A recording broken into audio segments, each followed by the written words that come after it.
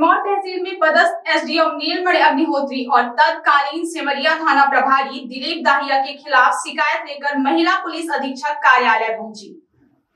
जिसके द्वारा बताया गया कि उसकी नियुक्ति आंगनवाड़ी कार्यकर्ता के रूप में हुई थी। महिला ने जो निवास प्रमाण पत्र प्रस्तुत किया था, उसको गाँव के ही प्रकाश सिंह नाम के अधिवक्ता ने निरस्त करने का प्रकरण अनुविभागीय अधिकारी सिरमौर के न्यायालय में प्रस्तुत किया था।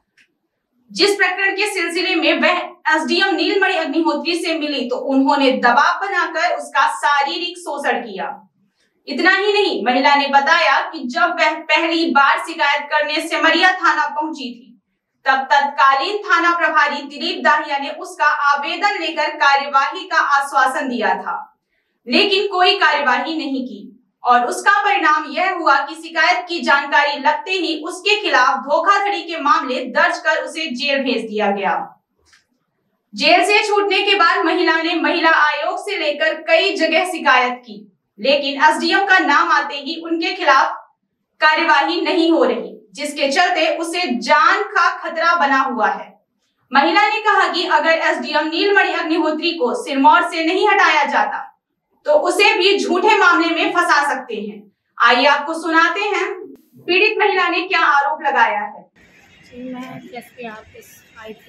साहब के पास शिकायत लेके ये हमने आज दिसंबर जब से जेल से छूट के आए तो जनवरी से ही आवेदन किए थे। मुख्यमंत्री आयोग, महिला आयोग, प्रधानमंत्री आयोग, गृह मंत्री, हर जगह, लेकिन इसमें से यहीं तो आया कार्रवाई के लिए इसमें कोई कार्रवाई नहीं हुई।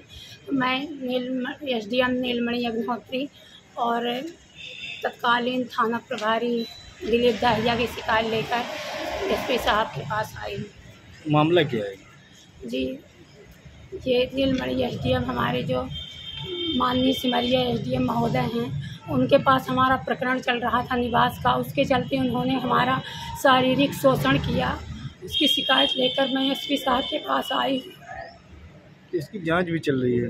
जी इसकी जाँच चल रही लेकिन इसमें कोई कार्रवाई अभी तक नहीं हो रही। साहब के पास एस पी साहब के पास तो कई महीने पहले आ गया है और हम इसका कथन भी दे के गए हैं। इसकी शिकायत आप कहाँ कहाँ मुख्यमंत्री आयोग मुख्यमंत्री के यहाँ की बाई पोस्ट मुख्यमंत्री के यहाँ गृह मंत्री के यहाँ प्रधानमंत्री के यहाँ और गृह मंत्री दिल्ली में भी और महिला आयोग में उसकी शिकायत वहाँ से हट के यहाँ आई मतलब जाँच करने के लिए आई जी साहब के पास आई जी साहब हैं एसपी साहब के पास भेजे। एसपी साहब हमको बुला के कथन लिए लेकिन उसमें कोई कार्रवाई नहीं हो रही।